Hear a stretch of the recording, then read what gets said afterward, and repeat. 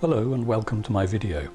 Now if you're a parent and you have a child who has expressed interest in painting with oil paint, I'm hoping that this video will give you a little um, lead on how to go about it to get started. Um, it's not expensive. Uh, you can make a painting out of very few colours and in this one I'm going to be using white, titanium white, sap green, red ochre light blue. I may add some darker blue later, but we'll see how it goes. And a brush. Quite an inexpensive brush, just from a hardware store. Cost a couple of dollars, if that. A bit of oil. This is clarified linseed oil, which is what I'm using at the moment. And paper towel. Now, beware that you may uh, want your child to wear gloves Obviously, um, you've got to watch out for latex in case your child has uh, a latex intolerance problem, um, or even just rubber gloves. Some people are allergic to rubber gloves. Uh, I personally don't need anything. I'm allergic to most food, but the one thing I'm not allergic to is oil paint. So maybe I should start eating. Please don't follow that. Don't eat oil paint. Okay, that was a joke. So I'm going to show you how to paint something. I'm going to show you how to make it wrong and I'm going to show you how to make it right and I'll tell you a few things about what I used to do when I was very young in school and painting and drawing and that sort of thing. So off we go.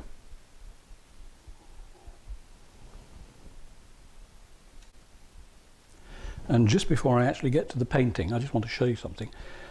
You need something to mix your paint on. Now I'm using this. This is a piece of glass which is on the top of a cabinet I've had specially built which stores paintings underneath. So this is my palette. You can use things like um, a paper plate. Uh, this is a plastic plate, which of course you can't get now. I think they've stopped making them. They have certainly in France anyway, which is where I am. But you can use uh, a china plate if you want, because you can clean a china plate. Um, you can use a paper plate, but um, the problem with those is that the oil that you mix with the paint just soaks into the paper plate. I've tried several uh, versions of this and it always seems to, to, um, to soak in. Or if you've got lots and lots of money, well, you don't need that much money really, but you can have a wooden palette like this one. And there's something nice about a wooden palette. It, uh, just nice to use. They sort of um, they make you feel like a real artist. So I sometimes use those so that I feel like a real artist. Uh, you may want to buy bigger brushes. I'm going to show you what we do with a big brush later on. That's the fun bit. Well, I hope it's all fun, but we'll see. Not everything's fun, is it? Okay, so this is how we mix our paint all I do is um, I start off with two colours. I use sap green and red ochre and it's dead simple. This is, this is the really easy bit. It does get easier later on, but this is quite easy. So I just put a nice lump of paint. Of course, if you're painting on a small uh, board or piece of paper or whatever you're painting on, you won't need to use so much paint. I'm using quite a big board and I'll give you the size of that. Some of you, I'm sure, will understand centimetres. Some people don't understand centimetres. So I will give you the measurements on the screen in inches and centimetres. Now you can put the oil in a small container so that you dip your brush in it. That's, uh, that's one way of doing it. It's not my way. What I do is I just tip some oil on the surface. And then the fun really starts. So we get the oil and the paint and we just push them together like this. Okay. It's a bit like um, mud pies without the mud and without the pies. You're making basically a colour that looks sort of muddy, but a lot of landscapes are actually made out of this sort of colour. And you can see as I do that how the colour changes. I hope you can anyway. Let's just make a bigger shape there. So there's a nice bit of dark green, but I can I can make it light just by pushing the brush through it. And we'll be using this method when I actually start painting. So off we go. And I'm going to I'm going to show you what a lot of young people do when they start painting and I'm going to show you how to turn that into something else. Before I really get started I just want to say a couple of things. This video is really aimed at um, kids, I call you kids, um, young adults from the age of about, I suppose, anywhere between 10 and 15, 16, that sort of age. Um, and what I want to do is show you how simply you can paint a landscape without worrying about things going wrong. Now first of all, how many of you when you were young painted something like this?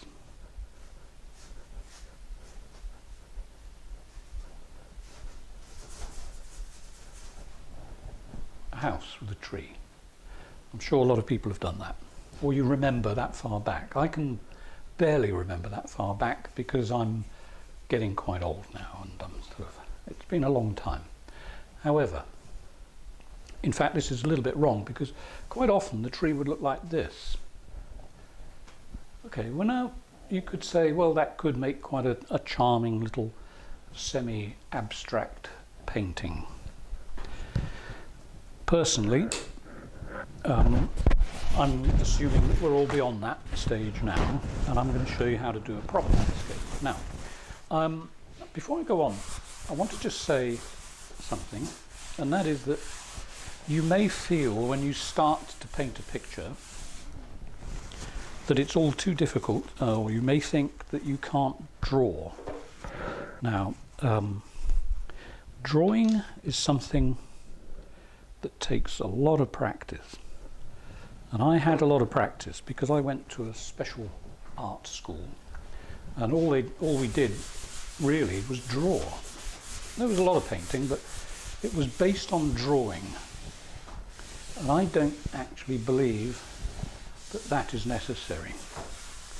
What I'm doing here, by the way, is I'm taking away the painting that I put on there and I'm going to also try and make this stop wobbling. This is something I get every time I paint. I don't know why it is, but um, my easel just doesn't always seem to like to grab the board tight enough. So I'm going to wedge a paintbrush in the back. That's better. Now, you see what happened there? I, I painted those shapes and then I took them off. And what I've ended up with is trees in a fog. I'm not after trees in a fog. What I'm after is a landscape. Now, also, you, it's green. So you're going to think to yourself, hang on a minute, why, what are you going to do with the sky? The sky's got green on it. Doesn't matter. Everything is fixable. If, when you start painting, things don't appear to go as right as you would like them to go straight away, it doesn't matter. What I want you to do is relax. So I'm going to put a line across there now that's a little bit stronger. Now it's sort of reasonably straight. It's going downhill over there. It's going uphill on this side. Doesn't matter. You can always fix it with another brush stroke so that it's reasonably what we call horizontal. That's horizontal, I'm sure you know that word. One thing I do know about teaching young people is to talk to them like adults. So if I say things like, I've made that horizontal, you may think, well, yeah, I know that word. Some people don't. Okay, so that's the horizon. That's why it's called horizontal, because it is like the horizon. You may live in some place where there's lots of hills. Okay, well let's have let's have a hill here. This is a temporary hill. It's just a, a little quick hill. You notice how I'm using the brush. Okay. I'm just, I'm using it this way. I'm pointing the brush at the ceiling. And I'm using the side of the brush. I can use the tip, but at the moment I'm just using the side. The reason I use the side is so that when I then pull the brush across, I can take paint away. If I move slowly it puts paint on. Okay, so that's, that gets you started. You know that you can do lots of things with this brush. And I haven't had to use a pencil, haven't done any drawing at all. All I'm doing is just making some shapes. So do I want to keep the hill? It's a nice hill, as hills go, but you know, maybe I won't. Maybe what I'll do, and this is another good thing about this way of painting, is that you can do lots of maybes. You can decide that you don't want that to be a hill. You could say, well, I want it to be some trees. Okay, so we're going to do some trees. I'm using the edge of the brush. Okay, so let's have some nice tall trees there. On a bit of a hill, and then the land comes down there. See, didn't take long. And these are sort of the type of, you get these trees everywhere. They're sort of like fir trees, I suppose. What else can we do? We can paint clouds using green. You don't have to use blue.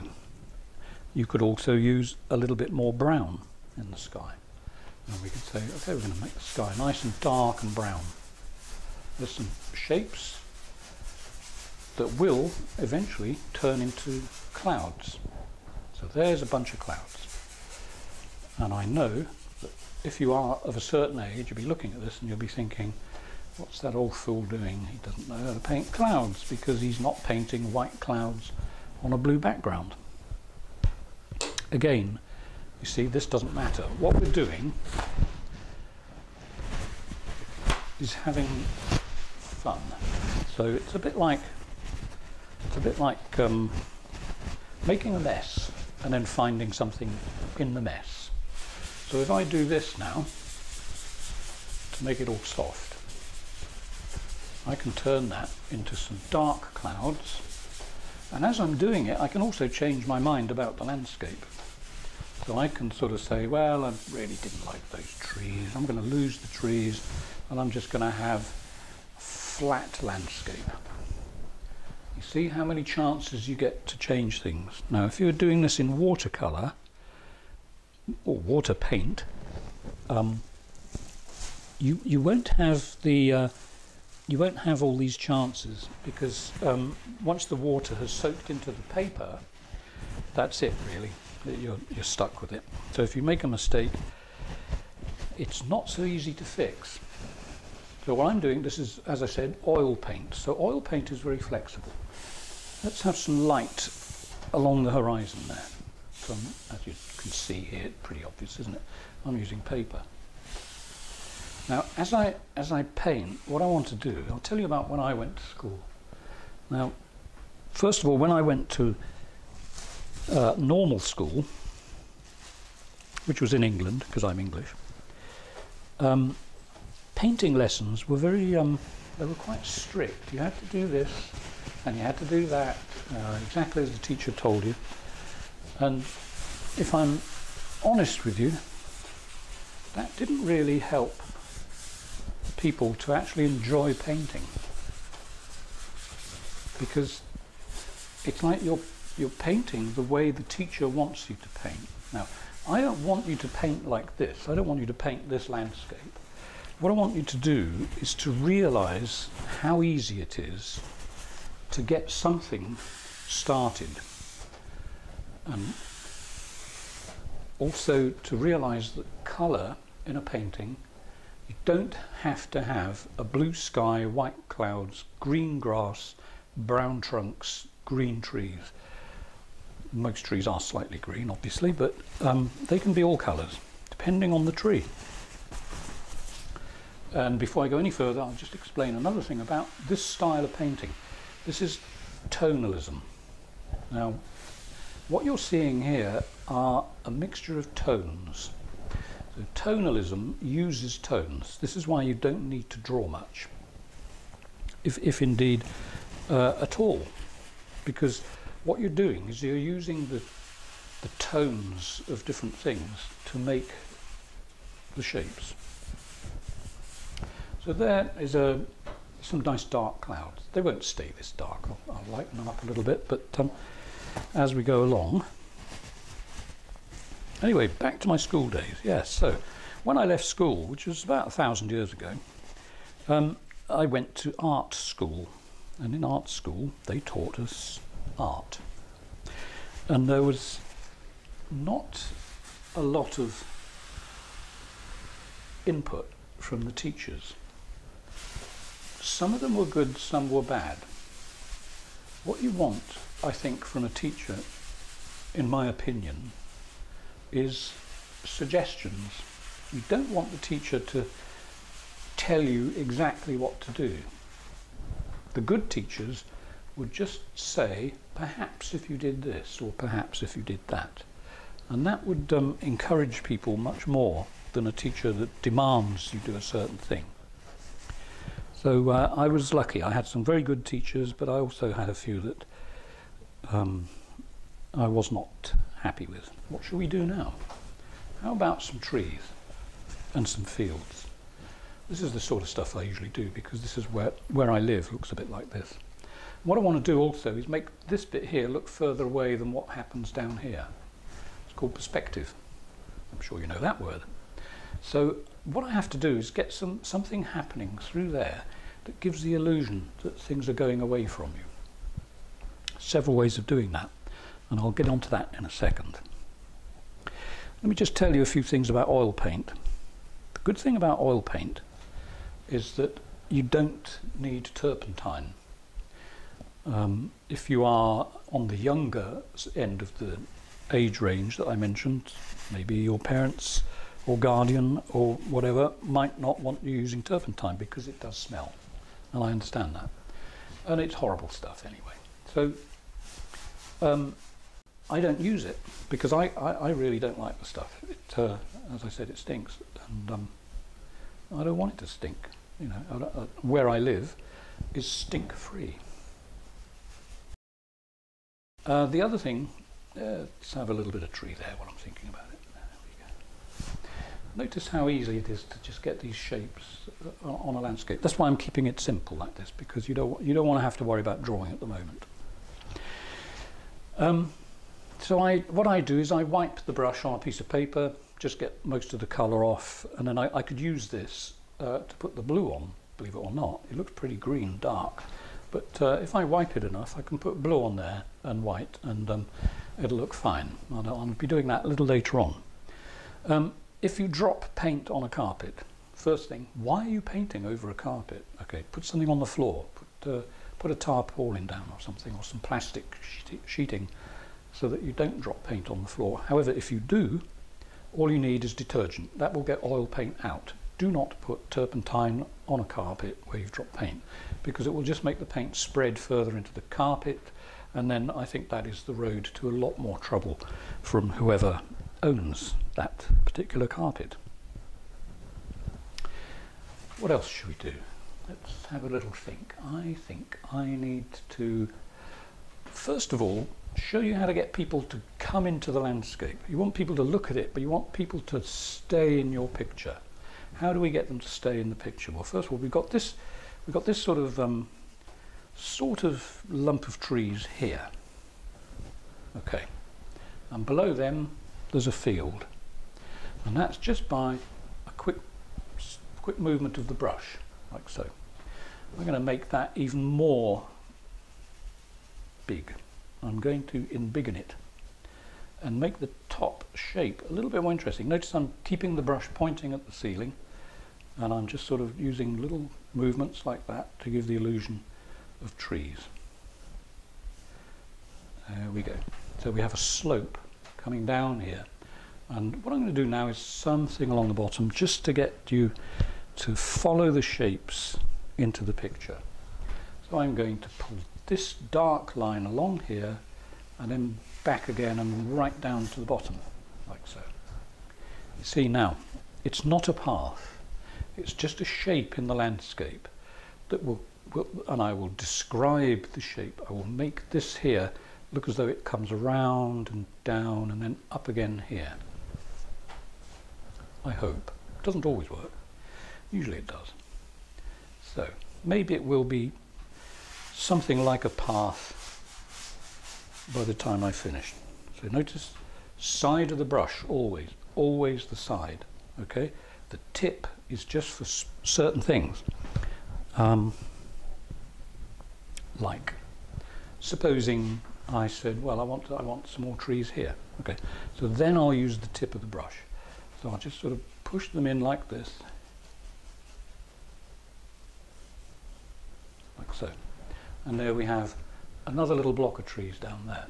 This is the very beginning of the painting, obviously, so things are going to change as we work through. But uh, I hope this is getting your getting your interest and also showing you that there's there's no real mystery about painting. You have to you have to just sort of try and how can I put it?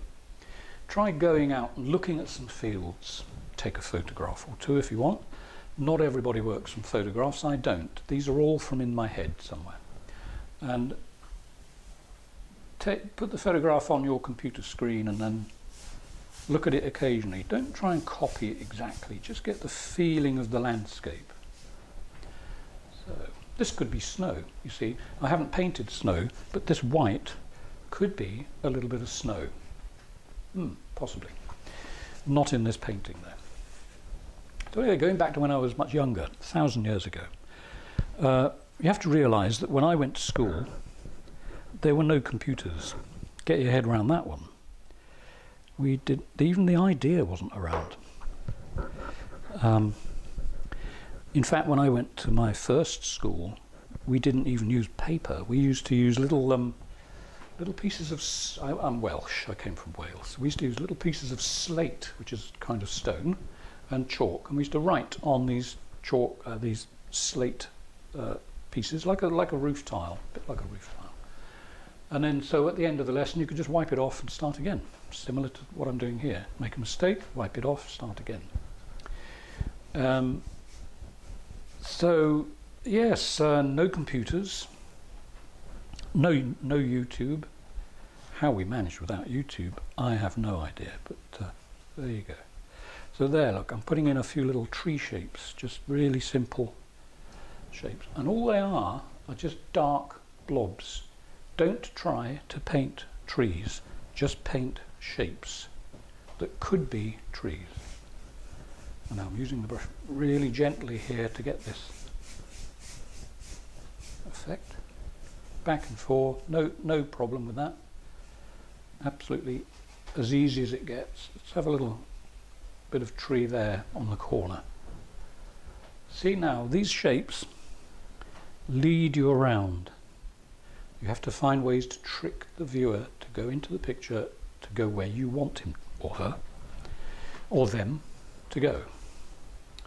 And um, what else should we do? Let's, um, I think we'll just put a bit more tone down the bottom. It may get really dark down there, but uh, at the moment I'll just keep it a sort of, you know, slightly green tone. Just as a reminder, I know you don't need reminding because you can see what I'm doing, but I haven't touched a pencil once. So if you feel that you can't paint because you can't draw, just forget that idea. Because you don't need to draw anything. You can paint, you could actually do a, a portrait of someone without doing any drawing. There. So we have this, what, what I would call a neutral tone. In other words, this colour here is quite flat and it's quite, uh, quite quiet and subdued. It's not um, loud at all. This is loud, this is loud, and that's loud and you've missed that. That's a fingerprint because I touched the board. But it doesn't matter. You make a mistake, you take it off. So there is the mistake, right there. You probably can't see it. Um, I'll try and zoom in later, but if you do make a mistake like that, you just touch it, just put a bit of paint on it, and it'll go away. So we've got some dark skies over a landscape here. Where was I with my ancient story. Yes, okay, so I, I believe that most people can be taught to do anything, except me, no problem with painting. Some people say, why don't you sing? Well, I can't sing. Doesn't matter how much I believe I could sing, I've tried, and when I sing, cats and dogs in the neighbourhood howl. The cats scream and the dogs howl because they want me to stop. So uh, I'm not a good singer. But, and also I'm not a very good, I'd, I'd love to be able to play the piano, but um, I remember when I was very young, we did have a piano in the house and we also had cats. And to be honest, when the cats walked up and down the piano keys, it sounded a lot better than anything I could ever do. I don't play the piano. And another theory that I have is that to be able to do something, and I'm assuming that because you're here, you're interested in oil painting, you have to have an interest and I think my interest in playing the piano wasn't big enough. So, but when I was young, probably the age you are, if you're in your early teens, uh, I was I was really interested and very very obsessed with oil painting. And I'll put on the screen my my first oil painting, which was a it's a very bad Polaroid um, photograph of a pigeon. I wanted to paint wildlife and uh, I painted a few birds. Um, but then I got more interested in landscape so there's a big lack of bird paintings in my life but lots of landscapes. The other thing you might want to ask yourself is why do I want to paint? Do I want to paint just because I I like the idea of being able to paint or is it because you want to make a career in painting? Maybe you want to be a full-time professional artist, which is what I am. And it's, I have to say, if you do, it's a delightful way to make a living. Because you can sell your paintings, you could maybe paint pictures. They don't have to be like this, obviously. Um, and you could do illustrations for magazines, which is something else that I've done, which again is quite fun.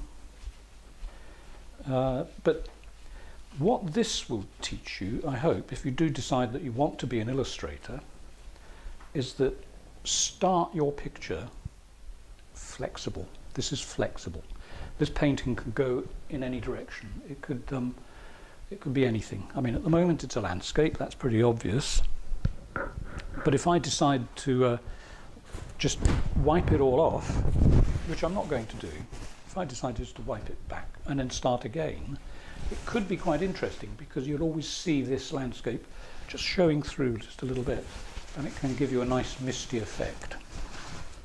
So let's just, uh, I'm not going to worry about the tops of these trees because I'm going to be doing something with the sky there in a moment. Uh, so they will be, probably be destroyed uh, and then reassembled. So uh, one thing I can guarantee is that if you are getting interested in painting, you've probably done a few pictures and thought, oh, that's just too difficult. Well, I, I hope that by looking at this, you'll realize actually it's not that difficult. The difficult thing is believing you can do it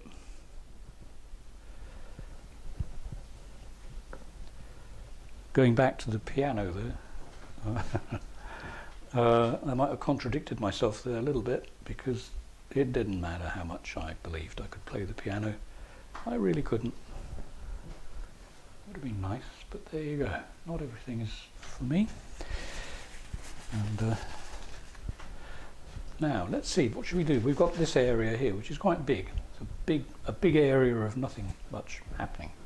So I think I should probably get something in there, a little bit of texture. So I think I'm going to put a, a line of trees below that, like so. You see, now I'm not thinking to myself, I'm going to paint a tree. What I'm thinking, I hope this makes sense, is I'm, I'm just putting down something that could be a tree. Don't worry about the bottom part of the trees because they will change. Because I've done this line of trees here at the top and I've got the field below them, I can put these over the top so that I don't have to paint field in between the trees. So what do we think? Yeah, I think the perspective is working okay. I'm just going to add a few dark shapes down here just to strengthen this uh, this line, which could be a bit of raised ground. You know, you've got the field here, then it comes up a little bit, and then along, and then up up the hill.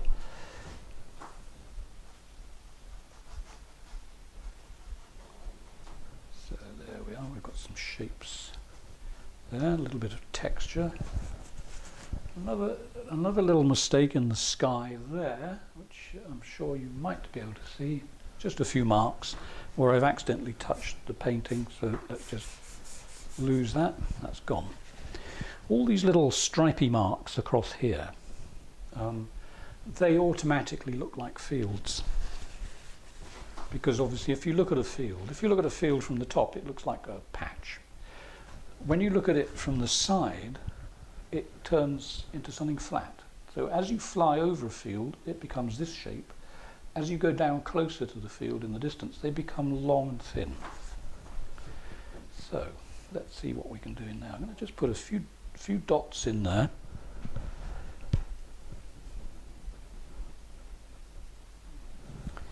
Just to show the effect of some distant trees.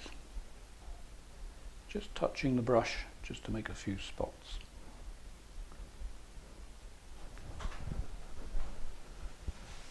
I'll show you a close-up of this when I've finished so that you can see what I'm talking about. Now here, the line, the shading between this, this shape and this, to me is a little bit too, um, too contrasty. So yeah, if you're interested in painting like this, you don't need a lot of money to get started. You just need a few tubes of paint. And so far, the only colours I've used on this are two colours, and that's brown and green. So I haven't had to use a lot of colours, and I haven't had to spend a lot of money on paint.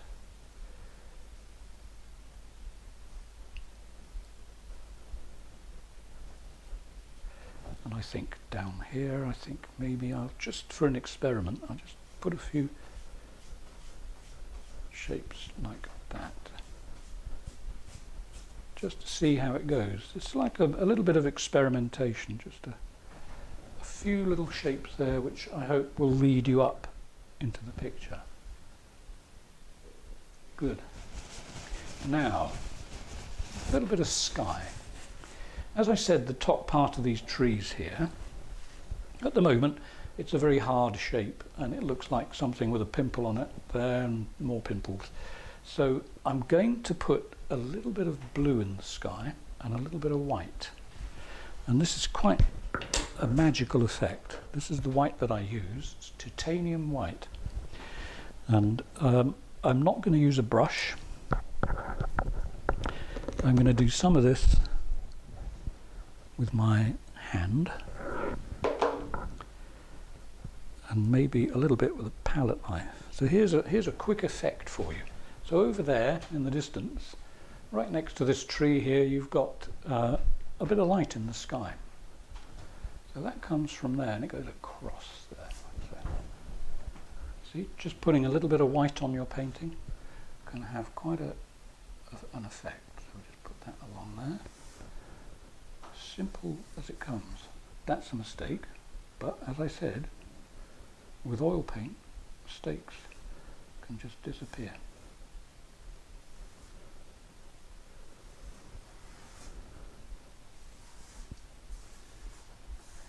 Now, as I said early on, you might want to wear gloves. I have a lot of um, food allergies. Uh, almost everything I eat now, anything that contains milk and certain nuts and soy and stuff like that, gives me a really bad reaction. But the only thing, one of the things, not the only thing, one of the things I'm not allergic to oil paint. But you may be. Some people are. Some people can't take this on their hands, so always be careful of that.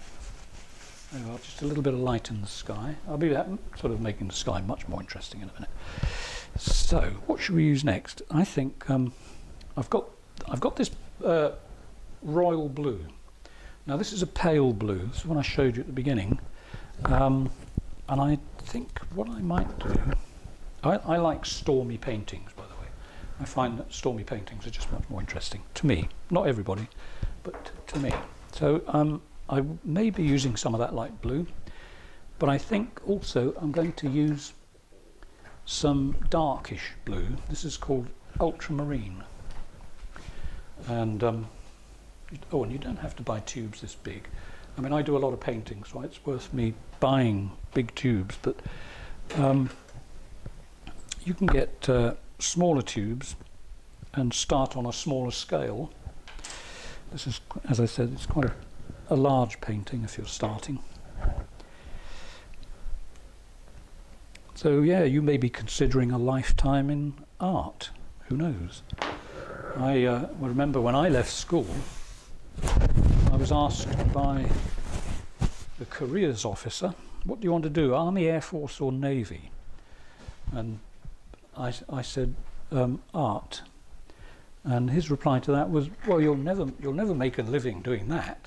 Um, so anyway, I didn't listen and I carried on. So I made a living. I've always been an artist um, all my life.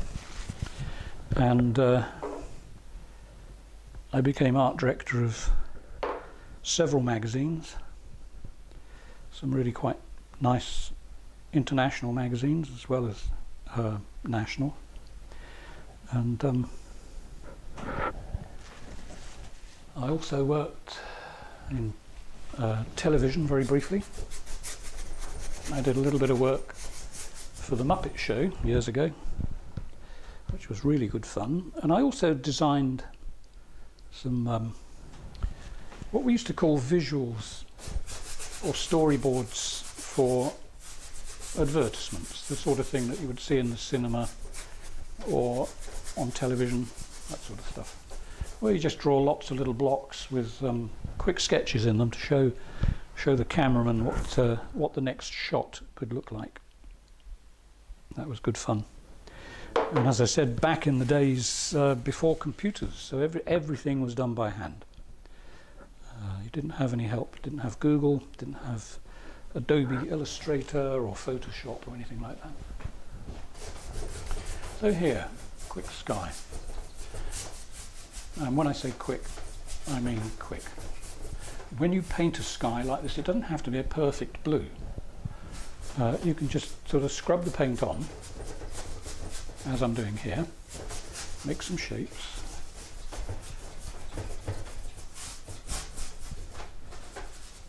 And I think we'll put a little bit in there as well because why not? Let's just see how interesting it becomes. Make your painting fun. Have, have, a, have as much fun as possible. When you start to um, paint a picture and you think, oh, I've got to be really serious now, I've got a cloud to paint. How am I going to do this cloud? I've got to be so careful. Well, you know, clouds aren't careful. Clouds just sort of jump about all over the place doing what they like. So that's what, that's what I try to do with my brush. This is what I do. I, I have these strange images in my mind, you see. I have, this is my brush. This is my sky. I'll do what I want. I don't care what anyone else wants. I'll do it until I find the interest that I'm after. And only then can I be forcibly dragged away from my painting for people to look at it. There we go. There's some sort of bluey stuff. I decided at the beginning of this um, video that I wouldn't get technical, so I'm going to keep it all very, really simple. This is bluey stuff, this is browny, greeny stuff, and this is vegetable. So let's now start doing this to it.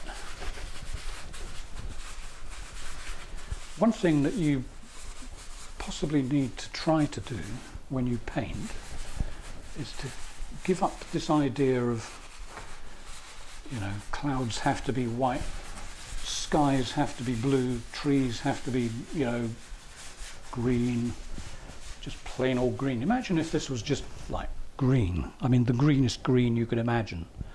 Um, it, it would just not work. It would not be interesting. So when you paint, enjoy it.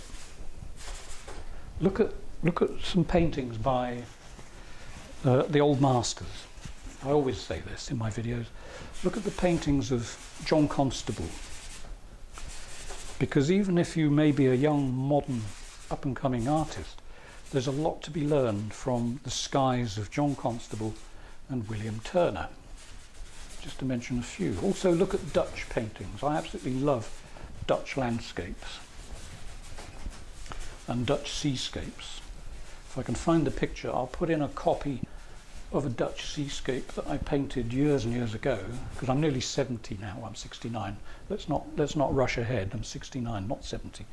Uh, when I painted well over 30 years ago of a, a Dutch seascape with ships, which was a very big painting. It was, um, well, as high as this room, which was just over six feet. Um, probably, actually, no, probably about seven feet, this room um, by nine feet wide. And it took me a long time to paint, it took about a year. But it was uh, an experience I'll never forget. And that was, I painted that because people wanted uh, professional fake paintings. So it was painted to look like the original. I can't remember the artist's name now, um, but it was Dutch. Okay, so there's a, a sort of um, slightly Turner, Turner type sky. If you look up Turner, uh, you'll understand what I'm talking about. Oh, another bit of technical equipment that I use quite often is uh, a thing which is called the, the, the shirt. This is an old shirt. Excellent for wiping your hands on. Right, that's enough of the techie stuff. So I'm just going to do something back on the area over here a little bit. Uh, I'm going to just take off the bottom edge of some of these trees so that they look as though they're sitting on the ground rather than floating above it.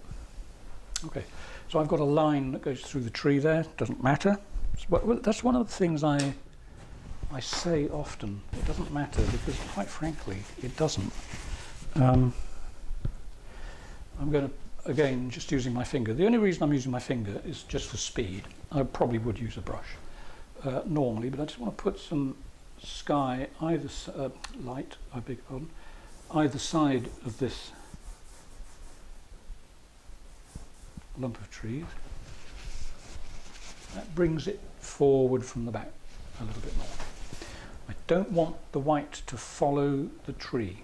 That's wrong there are some things that um, in painting that are just wrong. Some people say, oh, everything you do is okay. Well, that, okay, let's get real. Um, I'm sure that if you're of a, a, you know, if you're a teenager, you'd like to be spoken to like an adult. I remember when I was young, I always liked that idea. So let's try that. Um, when I um, I live in France, and a few years back, I had to uh, find one of my teachers on the internet from when I was actually 16 years old. So you can imagine, it's going back a bit. It's not just going back before computers, it's going back almost when they invented the wheel. Um, that's what it feels like sometimes. And uh, there we are. So that's a mess now. I want it, it looks tidy, I suppose, but I, it's basically a mess. You'll have to trust me with that. So I've got, I've got this light coming in here. I've got it coming over these trees, but not following them. Never follow, as I said. Anyway, I managed to contact this uh, art teacher I had at school. And, and he doesn't use the internet as far as I know, so I, will give you his name. It was um, Dave Saunders, who's a very good artist. Um, and he was very inspiring.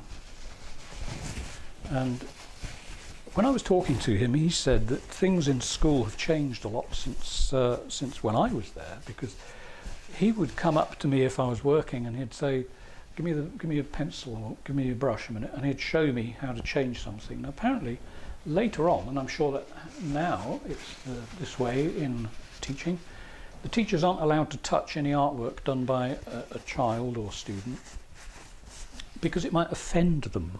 Okay. Now, I personally, I would rather be offended. Not that it ever offended me. I just don't quite understand where that comes from. But I would welcome the fact that he's telling me how to put something right. Uh, if he doesn't, if the teacher doesn't want to um, actually show you, because that's one of the way I see it is showing. It's not taking over. It's just show. That they're there to teach. So that's what I tend to do with students that come here. I've only had one quite young person to teach, a girl who came here with her father and um, she was really good. She knew what she was doing. She picked it up very, very fast. But uh, I thought, well, I better check as I'm going through the lesson. I said, do, do you mind if I change your painting a little bit? Because I can show you, it's much easier for me to show you what I'm talking about than it is for me to try and let you guess. And she was more than happy with that, so she wasn't the slightest bit offended. So um, I don't know what it's like now. Maybe it's the same. But uh, yeah, I would rather know. But I think if you're teaching, you have to do it with a certain respect. You've got to not um, not be big-headed about it. You just have to instruct, but you have to instruct in a way that doesn't upset anyone. In other words, no showing off. Okay, so I'm making this bunch of trees, I hope a little bit more interesting on the top. Seems to be looking okay in the camera, but uh, we shall see. So, I don't know how long I've been painting now, but I want to keep this one reasonably brief, because a lot of my videos do go on forever. Anyway, um, so where was I? Yeah, back in the old days. It's all, when you get to a certain age, you know, it's all back in the old days because there are lots of them. Now, let me think, what else can I do? I'm going to do a little bit more work on the sky. I may leave most of the landscape as it is. These little bits of white here could be water that's just sitting on the land. Could be, I don't know, maybe water, maybe um, chalk, something like that. I quite like this one more than I like this one. So as I'm looking at a painting, I'm my eye is basically going everywhere. I look at the shapes and I think, what do I need? What do I need to keep? What do I need to get rid of? This is something that you can do when you start painting. Look at your picture. If you're, if you're lucky enough to live somewhere where you can just look out the window and see trees, that's always very useful. Uh, if not, there's always some Google Earth go onto Google Earth, find a bit of landscape that you like, come down to ground level and literally drive along the road and see what you can see. You may find something that interests you.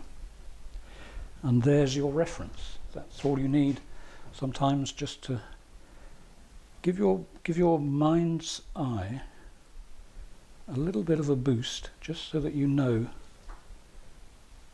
what things look like.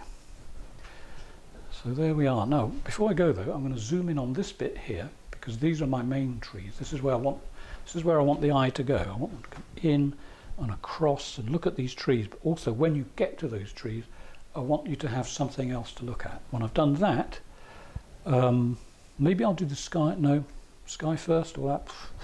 Big decision. Biggest decision I've had to make all day, other than getting out of bed.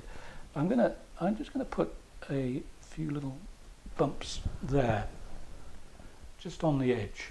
Okay, I like that. Good. Now then, a little bit of cloud. I didn't show you this at the beginning, but I'll show you now because it's never too late. This is a palette knife. You don't have to use a palette knife. You could use a brush, but I just happen to like palette knives. Um, what I'm going to do is um, just put a few bits of white on the board. And you may think, ooh, the old fool has completely ruined it. Well, I have to say, that does sort of happen, but I've got a good feeling about today. Let's, uh, let's stay positive. Let's just put a few bits of white on the sky, like so. This is how I do my skies normally. So again, I, I, I know this is obvious and you are of a certain age where you know what's obvious and what isn't obvious. Um, these are just bits of white. They're not. They're not clouds yet. There's nothing. Well, I suppose they're slightly cloudy, but uh, it's not like um, not obvious cloud shapes. And I haven't had to draw a cloud. All I'm doing is just putting a bit of paint on. Okay. And I have to point out this landscape is all from my mind. I don't have a picture to look at other than what is in my head. So, uh, tell you something about when I was young. I used to go out. I would sit in the garden, and I would just look at the sky. This is from about the age of about nine, I suppose. I was fascinated by skies. I thought, wow, pretty cool things. And um, it's sort of stretched into my later life because I've done a lot of a lot of air travel, and uh, I always insist on a seat next to the window on an aeroplane so that I can just look out because clouds from the top are actually quite interesting as well as from underneath. A bit like a dog going for a ride in a car. If, if I could open the window, my tongue would be flapping out the window. Okay, so there's a little bit of white in the sky there. Now I have this brush. This is one of my delicate little sky brushes. It's actually, um, believe it or not, it's clean. It's got a little bit of staining on it, but that's all. But the paint that's on there doesn't come off. All I'm going to do with that is just a few quick wipes like this.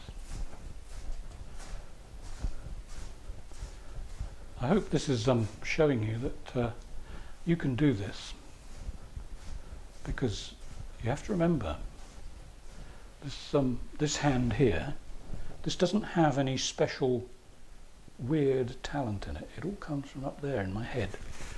Um, how you move a brush on a painting is all from your brain. It's nothing to do with having artistic hands. I mean, you can practice, yes, but how much do you have to practice just to do that? It's like painting a wall, really. So all I'm doing is stroking the brush very lightly over the landscape, just to soften everything just a little bit.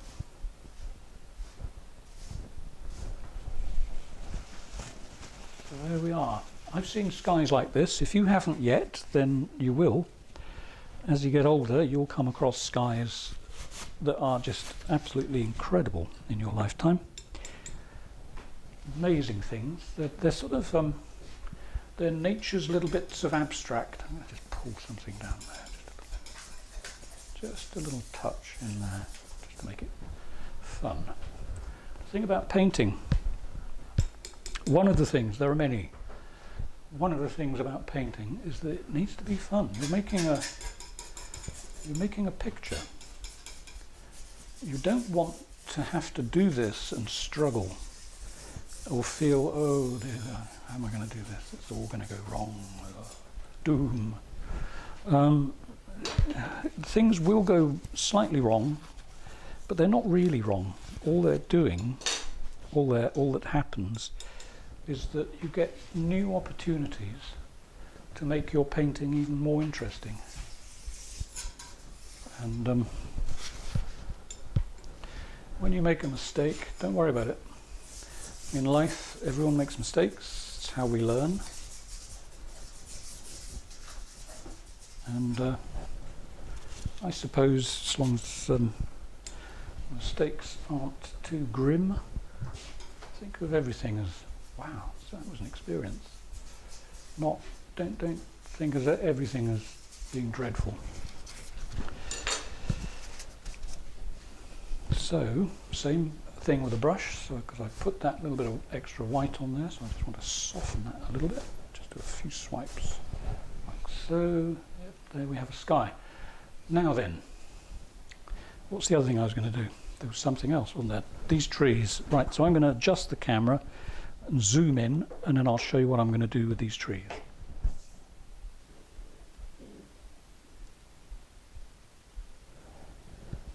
Right, so here we are, these, these trees. What am I going to do? Well, I'm going to try to make them a little bit more interesting. They're quite big trees because they're not that close to us. So uh, you will see um, tree trunks and I'm going to just show you a little trick that you can do using a Q-tip.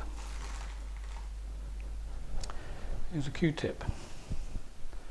All I'm going to do is just put the Q-tip on the field below and just do a few lines coming up like so. So that little bit of the Q-tip there is now uh, has paint on it. So I'm going to turn it and then use another clean bit and just put a line up there like so. Turn it again, put a, another line up there. Use the other end. Let's have one there. And in fact, I'm going to make this one come right top, just lightly poking up, and you'll see why in a minute. Okay, so this is basically finished with. That's had it. And um, I'm going to put a few more in there. I'm going to have another one there. And I think possibly even one that goes off at an angle, a little bit there, just going into the sky. Just a little bit there. I'm not going to overdo this because I don't want it to be just like, masses of tree trunks, because that's not what this is about. This is just about adding what looks like a bit of detail at the end of the painting. So now that I've done that, and you may think, well, okay, you've got these giant spiky things poking up here.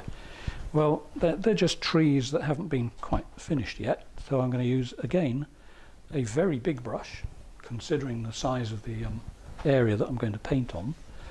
Give the brush a little bit of a wipe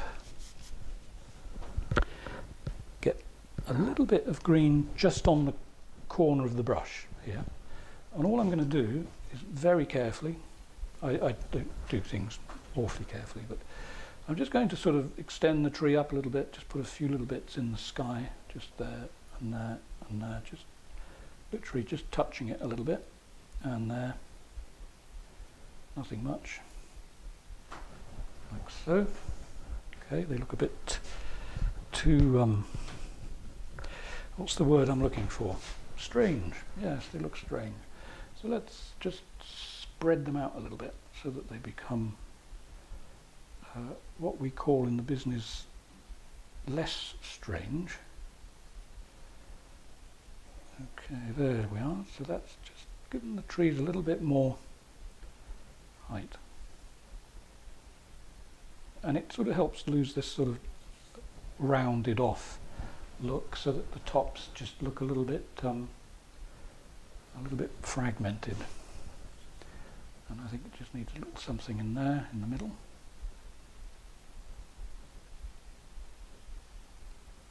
So I'm not um, I'm not being careful about this. This is just I suppose I'm just literally just pushing the paint on. And I'm mixing the paint too with the colour of the sky. In other words the white and I'm using that just to give it a slightly misty look on the top. There we are. That also gives the effect of these over here going further away. Okay, now the only thing I'm going to do before I finish is cover the trunks a little bit so that it looks as though there's foliage in front of the tree trunks as well as behind them. And there we are. Right, so this is a basic lesson. So depending on your age, if you're really very young, go and get your parent or parents or carer or provider or whatever you call uh, your person in charge tell them about the video. Uh, please subscribe if you like it. I'll be doing more that are aimed at uh, the younger painter. And um, uh, I also teach on Zoom and uh, if you want to be on a Zoom lesson, supervised obviously, um, feel free to uh, contact me. I'm going to just do a couple of little touches there. Uh, because I, when I teach, I don't, um, it's not just for adults, it could be for younger people too, I don't really mind. As long as you behave. and um, yeah, you never know, you might find it fun. Put a link in the box below if you want to follow up on this sort of thing. And um, I hope you've enjoyed the video and I hope you've learned something. Thank you for watching. See you on the next one. Bye for now.